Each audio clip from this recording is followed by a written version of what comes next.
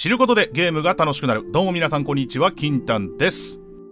さて今回はノルドの神々ということでね、えー、今更ノルドかよと思った方も多いのではないでしょうか。しかしながら皆さんは本当にノルドの神について知っているのでしょうか。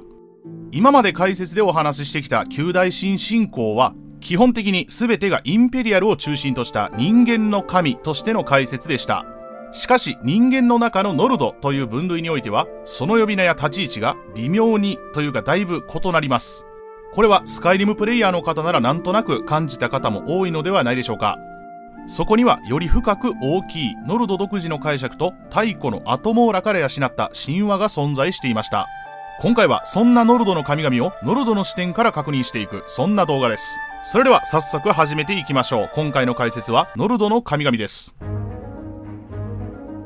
なんだかんだ数多くの動画を作ってきたこの解説シリーズですが今回はまた違った視点での解説となります。なんといってもノルドの祖先はアトモーラ大陸からやってきた古代ノルド人なわけですが彼らは主に動物崇拝を行っていました。いわゆるトーテム崇拝ですね。そこにはクマやオオカミキツネクジラさらには動物でもないものも含まれその中でも最も有名なのはドラゴン崇拝でありその強大な力ゆえに竜戦争の発端ともなったあの竜教団を生みました。そしてその動物崇拝は八大神信仰がもたらされてからも形を変えて組み込まれてきました。ノルドの中で一般的に知られる神々のほとんどにはその動物が当てはめられています。しかしゲーム作品であるスカイリムの世界は第4期201年その崇拝の歴史の中で様々にその姿を変えてきました。特に帝国の八大神信仰が組み込まれてからは2つの神々が混ざり合いより複雑になってしまいました。今回はそういう意味で言えばより古代のノルドの考え方に近い部分の解説となります。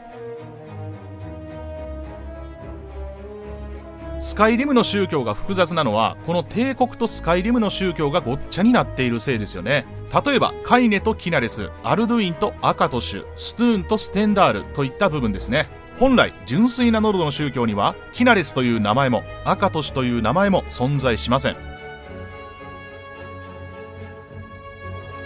こういった部分を知っておいてもらえれば今回の解説もより楽しんでいただけるのではないかと思います。長々と前置きがありましたがまとめると太古から続く純粋なノルドの宗教のお話です。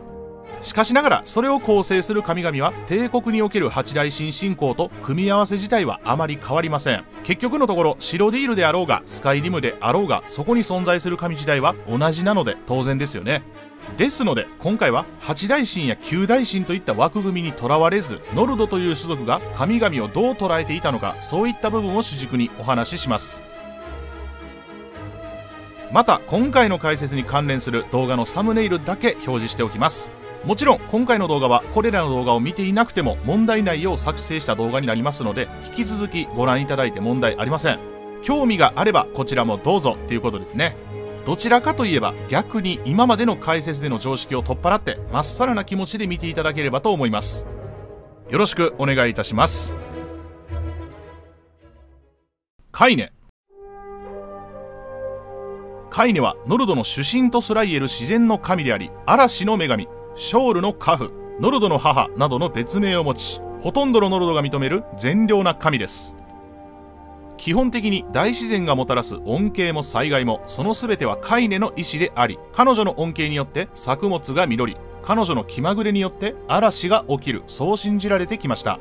よってそういった事柄に関係する農民や船乗りは彼女を怒らせまいと積極的にカイネを崇拝します。スカイリムで夜に見ることができるオーロラもカイネの恩恵であると言われカイネの光と呼ばれます。キナレスと同一視する考えも多く存在しますがスカイリムにおいてはその薄い影でしかないと言われています。マジなノルドにキナレスという単語を吐くと本気で怒られる場合もありますのでご注意を。ノルドの英雄が死後に招かれるソブンガルデへと案内するのもカイネの役割でありそのことから彼女は週末の口づけ最後のキスなどとも呼ばれます。そしてカイネ自身はそういった特性を持ちませんが古くから多くの加護を与えてきた神のため戦いにおける戦神のような立ち位置も持ち勝利の女神としても強く信仰されています。繰り返しですがカイネ自体は自然の神であり戦神ではありません。ただソブンガルデへと導くという役割からどちらにせよ死と隣り合わせの戦場では彼女の名を叫んでおいて間違いはないでしょう。ノルドの出身というお話がありましたがこれも意見が2つに分かれ基本的にはカイネとタロスこの2強となります。太古の竜戦争の時代ノルドにシャウトを教えたのもこのカイネであり彼女が介入しなければノルドが竜教団に勝つこともなくドラゴンボーンという存在も生まれませんでした。実際のところこのシャウトを教えた存在はカイネカイネの娘。カイネとパーサーナックスという3つの説が存在しますがどのパターンでもカイネが関係するためやっぱりすごい神ですね。ショールの家父とも呼ばれ彼の妻だったと言われます。そんなカイネは太古から鷹に例えられてきました。古代ノルド遺跡に多く存在する石像のギミックの鷹は紛れもなくカイネを表します。マーラ。マーラは愛の女神であり多産と農業の女神です。スカイリムでは古代より愛の神として崇拝されてきましたがそれほど人気の神というわけでもありません。全ての生物の女性的な部分を司り創造という要素にも深く関係します。ここには子を産む繁殖するという部分が強く現れているように思えます。マーラはカイネの次女でありショールの愛人というややこしい三角関係を持ちます。そしてマーラは古代から狼と関連付けられノルド遺跡に多く存在するドラゴンの爪のギミックの狼はマーラを表します。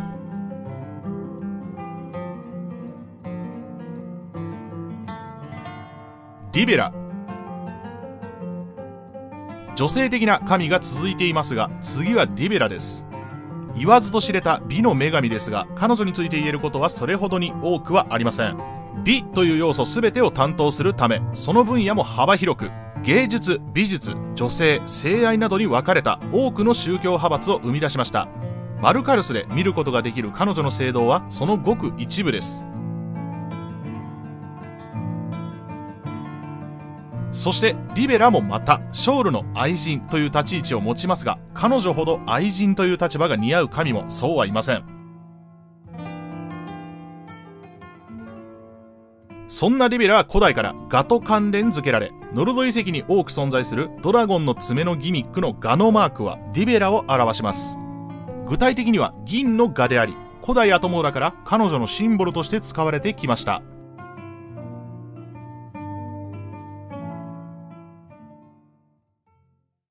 ストゥーン。ストゥーンはノルドの先人であり友愛と正義の神です。捕虜の重要性をノルドに伝えた神という何とも言えない歴史を持ちます。それに関連してか身代金の神といういいのか悪いのかわからない別名も持ちます。ストゥーンはエルフの神と戦いその中で戦いについてノルドに説いたと言われています。基本的にステンダールと同一と考えられますが中にはステンダールの過去の姿だというものもいます。どちらにせよキナレスとは違いステンダールという名称自体はスカイリムでは一般的で口にしても怒られません。口述するツンとは兄弟であり共にショールの盾の重視だったと言われます。そんなストゥーンは太古からクジラに例えられてきました。ノルド遺跡の石像ギミックのクジラはストゥーンを意味します。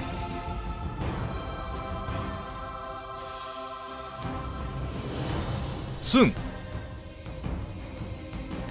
ツンは逆境と挑戦を司るノルドの神です。本編に登場している割には情報が非常に少ない神でありあまり言えることはありません。ショールをエルフの神々から守るために戦い命を落としたと言われておりその剣能にふさわしい活躍をした神として称えられています。ノルドに対して試練を与える神として存在していたとされ死後もソブンガルデでその役目を果たしています。ツンはクマと関係しノルド遺跡のクマの紋章は彼を意味します。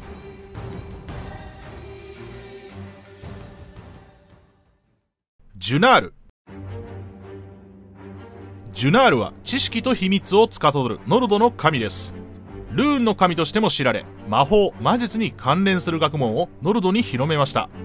ただご想像の通り戦士としての誇りを強く持つノルドの中では人気がなくその宗教そのものの存在が危ぶまれる不遇な神でもあります。よってノルドの神話にもほとんど登場することはありません。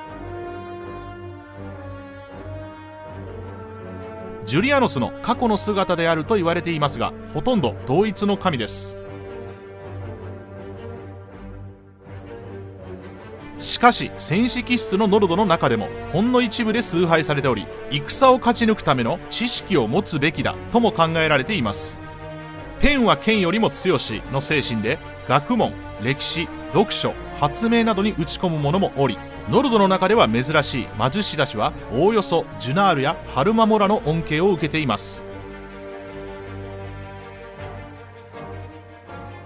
ジュナールはフクロウで描かれ古代からノルドの神として存在していました。古代ノルド遺跡のギミックでもフクロウは結構見かけますよね。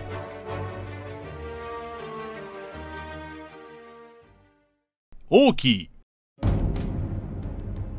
オーキーは死を司るノルドの神です。アトモーラの時代からその崇拝が続く古い神であり最も複雑な歴史を持つ存在です。死という肩書きを持ちますが破壊や破滅といった意味ではなく寿命という概念に関係します。かつてのノルドはエルフに匹敵するほどの長寿であったとされておりそれを気に入らないオーキーがアルドゥインを召喚し彼にノルドの寿命を6年になるまで食べさせたと言われています。これによってノルドは冬の数に縛られる呪いをかけられたといいます。しかしこの呪いは即座にショールによって解かれその呪いを近くにいたオークに投げつけたといいます。オークにとってはとばっちりもいいところですよね。オーキーという響きそして死と関係することから彼がアーケイだと思われた方も多いでしょう。しかし実際はアーケイとマラキャスを組み合わせた信仰であると考察されています。さらにアーケイという神はオーキーとザルクセスが融合したものだという意見もありアーケイという概念を複雑にしています。というかいろいろ矛盾しています。しかしながらオーキーの司祭もまた死者の間いわゆる墓地を管理するという点も重要です。死者を見守るという役目はちゃんと持っているということですね。オーキーは蛇の姿で描かれノルド遺跡でよく見る蛇の紋章は彼のことを意味します。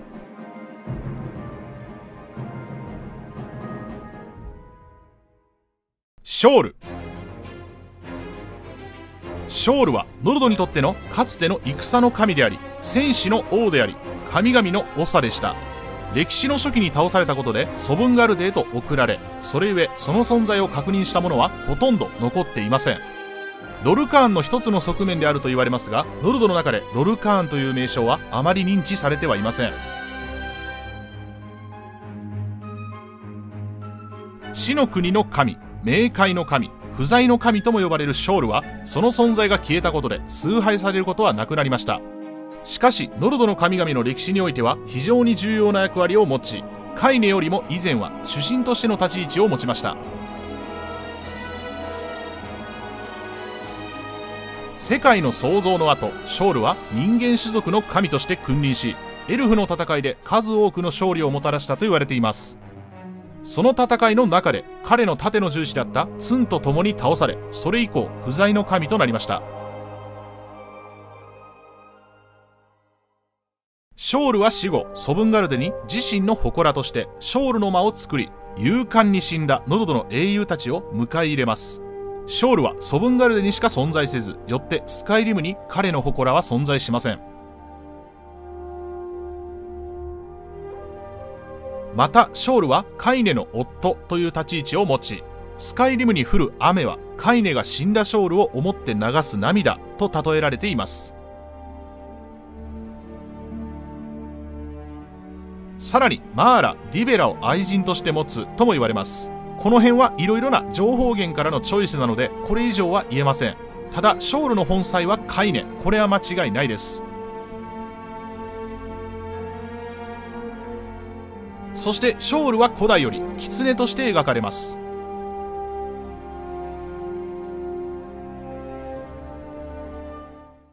タロス。英雄神つながりで言えばタロスは外せません。タロスは全てのノルドにとっての英雄。帝国の初代皇帝タイバー・セフティムが死後に神格化された神です。イスミール北方の竜などの別名を持ちます。タムリエル全土を征服し統一を成し遂げた英雄であり人間から神になった初めての存在です。死後は旧大神に組み込まれノルドにとどまらず帝国全土で崇拝されるようになります。ノルドたちの間ではその名を知らぬ者はいない有名な神であり彼を冒涜することはノルドを冒涜することに等しいです。彼を認めたくないエルフと喧嘩をしたくない帝国。そして彼の侮辱を許さないノルドとの間の戦争がかの有名なストームクロークの反乱となります。かなり新しい神となるため動物崇拝における分類はありません。アルドゥイン。世界を喰らうものであり終末を伝えるものアルドゥインです。アルドゥインはかつてのノルドたちによって熱心に崇拝されていたドラゴンの姿をした神です。竜教団が暴走するより以前は強大な力を持つ強さの象徴として重要視されていました。赤都市の一つの側面とも言われますが厳密には赤都市が生み出した存在であり言ってみれば赤都市の創造物です。破壊という側面が強く描かれることが多いですが再生も同時に行うため正義や悪といった概念を超越した存在だと考えられます。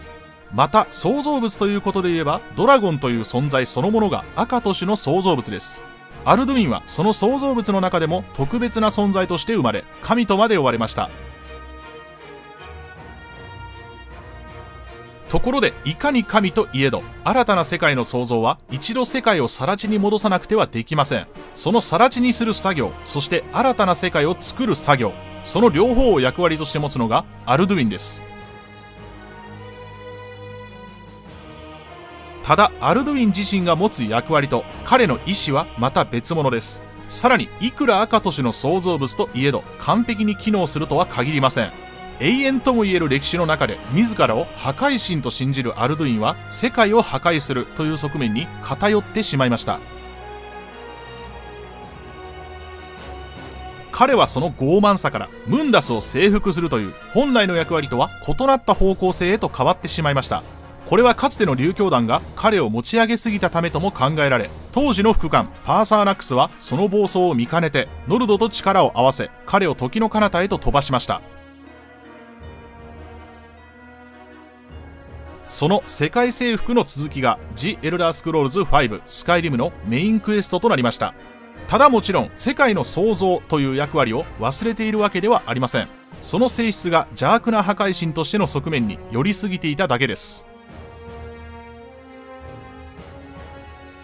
竜教団が衰退してからのアルドゥインはただ邪神として扱われその存在自体がノルドにとっての脅威となりましたが本来の役割は世界の破壊そして創造を担う重要な神です。その創造のための破壊にどう抗うかはその時の情明の者に任せましょう。そしてもちろんアルドゥインはドラゴンとして描かれます。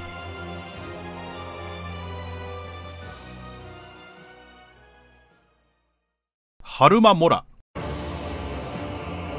森の男とも言われる知識の悪魔ハルマ・モラですもちろんハルメアス・モラと同一の神です。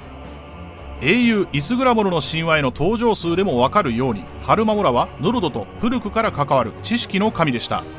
彼がデイドラであることはノルドも承知しており恩恵を与える神ではなく教訓を与える神として存在していました。甘い言葉に騙されてハルマモラに従えば必ず破滅する。そういったデイドラオの扱いに関する教訓です。モーロッチ。最初の多く多くの父偉大なる族長さらには山のへとも呼ばれる。持ち上げられているのかバカにされているのかわからない別名を持つモーロッチです。名前はなんとなく聞いたこともあるでしょう。マラキャスのことですね。第1期初期ハラルド王の時代試練の神として初めてノルドの前に現れ激闘の末に敗北モロウィンドへと敗走し憤怒で空を満たしたと言われています。戦いを通して試練を与える戦争の神でありそれ以上でもそれ以下でもありません。さてノルドの神々の解説いかがでしたでしょうか？最後にではありますがここでノルドの神の分類についてもお話ししておきましょう。ノルドの神々も彼ら独自の信仰によって分類されその位置づけが決められています。まずはロの神。炉の神という意味は分かりませんがおそらく今も存在し続けている善良な神という意味だと思われます。ハースという言葉が暖炉や炉床を意味するため温かく見守る存在そんな感じです。北国のスカイリムらしい表現ですよね。炉の神を構成するのはカイネマーラリベラストゥーンジュナールです。どれもノルドに恩恵を与えてくれる神ですね。次は不在の神。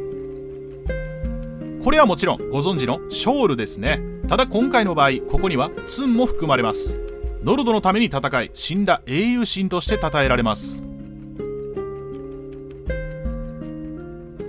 そして試練の神。これはハルマモラとモーロッチですね。ハルマモラは精神的な。モーロッチは肉体的な試練を担います。最後は黄昏の神。独特な表現ですがここには特別な立ち位置を持つ神が並びます。アルドゥインとタロスです。ドラゴンの王とドラゴンボーン。運命的な組み合わせですよね。